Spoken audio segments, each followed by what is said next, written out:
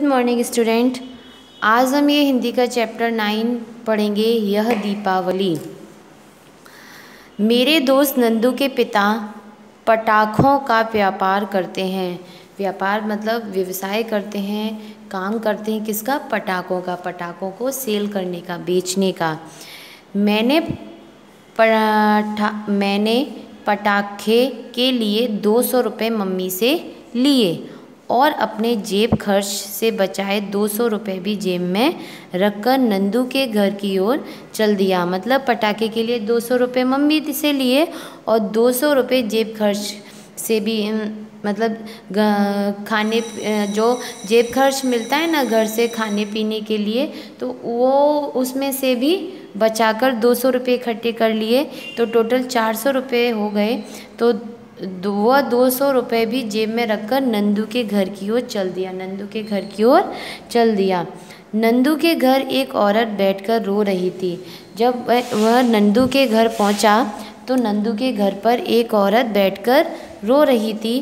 वह नंदू की बहन से तीन सौ रुपये उधार मांग रही थी।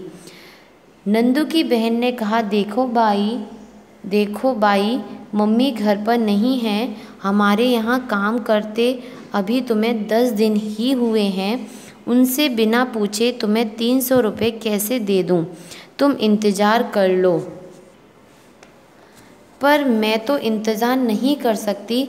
जब तक तो मेरा बेटा मर जाएगा। उसका बेटा बीमार था। उसका जो नंदू के घर पे जो बाई थी, औरत थी, जो बैठी हुई थी, जो काम करती थी तो उसका जो बेटा था, वह बहुत बीमार था। उसके लिए वह तीन सौ रुपये उससे उधार मांग रही थी, कर्जा मांग रही थी।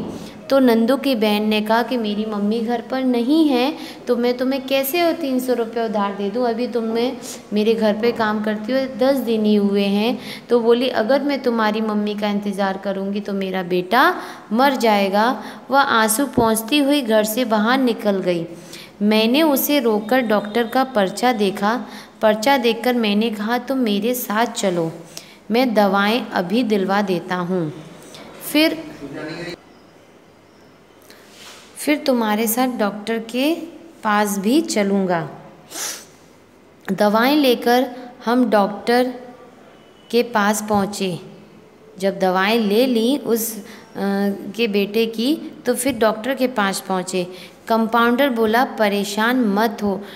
डॉक्टर के साथ जो लोग कंपाउंडर होता है, वह दवाई वगैरह देखता है इंजेक्शन लगाता है तो वह बोला कि, परेशान मत हो, तुम्हारा बेटा ठीक है। डॉक्टर साहब ने अपने पास से इंजेक्शन लगाया है ग्लूकोज भी उसे चढ़ाया जा रहा है। क्या करती साहब, कहीं से इंतज़ाम नहीं कर पाई? तो जो वो भाई थी, जिसका लड़का बीमार था, वो डॉक्टर से बोली कि क्या करती साहब, कहीं से इंतज़ाम नहीं कर पाई। देवदूत की तरह यह बच्चा मुझे मिल गया, इसी ने मुझे सब दवाएँ खरीद कर दी हैं। मैं तो इसे जानती भी नहीं हूँ। दीपावली के लिए पटाखे खरीदने बाज़ार जा रहा था। उन रुपयों से उसने मुझे दवा दिलवा दी है। शाबाश बेटे तुम बहुत अच्छे हो। क्या तुम्हारे घर अब तुम्हें डांट नहीं पड़ेगी? कंपाउंडर ने पूछा। कंपाउंडर ने उस बच्चे को पूछा कि, बेटा, शाबाश शाबाश, तुमने बहुत अच्छा काम किया है। तुमने किसी की जान बचाई है, दवाई दिलवाई है तो काम तो तुमने बहुत अच्छा किया है। लेकिन इस काम के लिए तुम्हें तुम्हारे घर पर डांट तो नहीं पड़ेगी? तो वह बच्चा बोला, कंपाउंडर साहब, ये रुपए तो कल तक पटाखे बम के रूप में जलकर धुआँ बन जाते हैं। जब हम पटाखे खरीदते हैं, पैसा खर्च करते हैं, पटाखे खरीदते हैं, फिर वह पटाखे को हम फोड़ते हैं, जल जाते हैं तो वो क्या हो जाते हैं? सब वेस्ट हो जाते हैं। तो वो पैसा क्या है? उसने बताया कि पटाखे बम बम बम के रूप में जलकर धुआँ बन जाते हैं। मम्मी कहती है कि पटाखे धन की बर्बादी तो है ही, इनसे प्रदूषण भी फैलता है। जलने तथा आग लगने का खतरा भी बना रहता है। मेरे इन रुपयों का उपयोग देकर मम्मी बहुत खुश होंगी। बचे हुए रुपए मैंने बाई को देते हुए कहा, तुम्हारा बेटा अब ठीक है, मैं जा रहा हूँ। हो सका तो कल फिर आऊँगा। बेटा, तुम्हारे ये रुपए थोड़े थोड़े करके तुम्हें लौटा दूँगी। जो वो बाई थी, उसने उस बेटे को बोला कि, बेटा, मैं तुम्हारे ये पैसे, ये रुपए थोड़े थोड़े करके वापस कर दूँगी।